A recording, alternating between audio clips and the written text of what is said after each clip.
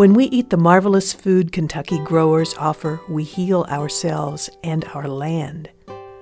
We help our small farms prosper.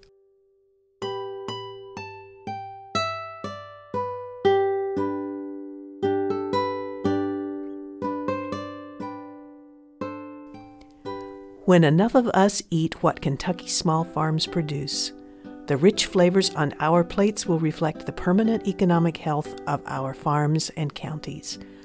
Abundance and wealth will flow in and through our towns and cities.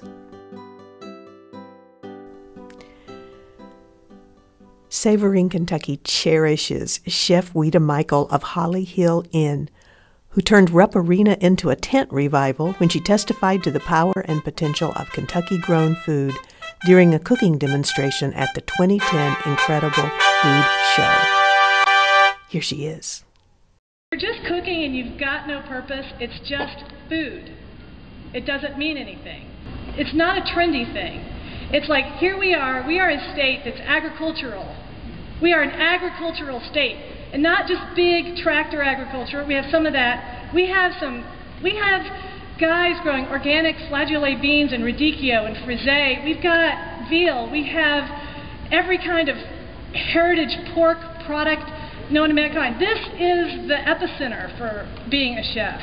So I, I think when Chris and I started the Holly Hill Inn, local foods were in the business plan. People come to me all the time, this is the typical reaction. Oh, this restaurant's really good. You know, this restaurant could exist anywhere in the world.